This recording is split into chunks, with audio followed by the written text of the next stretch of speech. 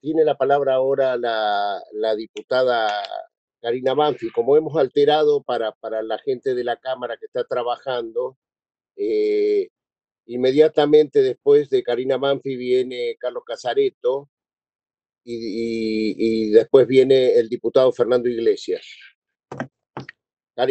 Hola, ¿me escuchan bien? Sí. Bárbaro. bueno, muchísimas gracias señor canciller, por haber aceptado esta invitación y quiero hacerle una pregunta muy concreta, empezando teniendo en cuenta dos cuestiones. Una, tenemos 1.300 argentinos en República Dominicana, 1.000 en Perú, 380 en Ecuador, 350 en Sydney, 700 en Francia, 1.500 en Estados Unidos.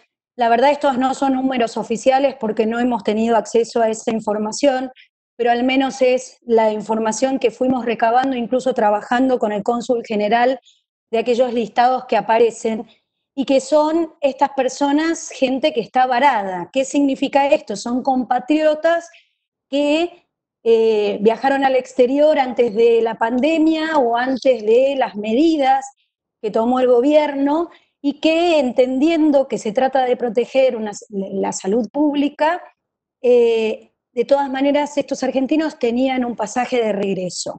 El Gobierno Nacional, a través del decreto 331 del primero de abril, instruyó al Ministerio de usted, al Ministerio de Relaciones Exteriores, al del Interior, a la Dirección de Migraciones, al Ministerio de Transporte, al Ministerio de Seguridad, al Ministerio de Salud, a la ANAC, para que procedan a establecer un cronograma y coordinar las acciones necesarias que posibiliten el ingreso paulatino de los argentinos a nuestro país. Y esta palabra es clave, paulatino, respetando cuáles son las prioridades y las urgencias más necesarias.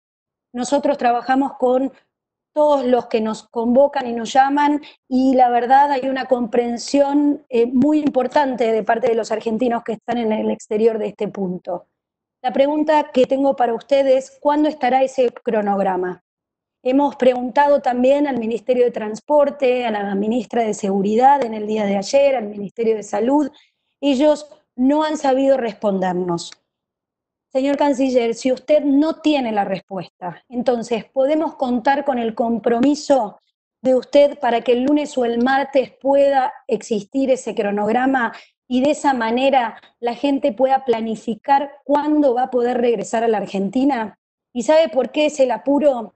Porque todas las medidas que el gobierno nacional ha fundado en el artículo 27 de la Convención Interamericana de Derechos Humanos, que justamente expresa de una manera muy clara que el tiempo de la restricción del derecho a la circulación y a la residencia debe tener, debe ser estrictamente limitado en el tiempo.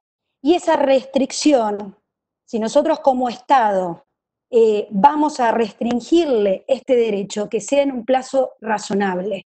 Llevamos 15 días primero de cuarentena, después fueron otros 15 días más y así.